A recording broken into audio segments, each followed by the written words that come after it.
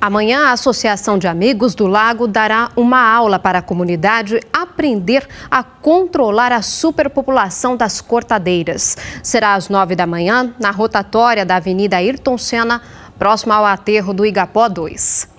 As formigas saúvas, também conhecidas como cortadeiras, viraram praga no entorno do Lago Igapó e comprometem a sobrevivência das árvores. Os focos da formiga estão nos 150 alqueires de um dos principais cartões postais da cidade. Árvores ocas como esta servem para os ninhos do inseto. Os focos têm entre 10 e 15 anos. Só no entorno do lago são cerca de 300 formigueiros. O trabalho voluntário programado para este domingo terá o apoio da Associação dos Moradores do Lago Igapó, além da Prefeitura, Instituto Ambiental do Paraná, Secretaria do Meio Ambiente e a CIL. Como a formiga cortadeira tem um papel fundamental na natureza, a ideia não é exterminá-la, apenas fazer o controle da população.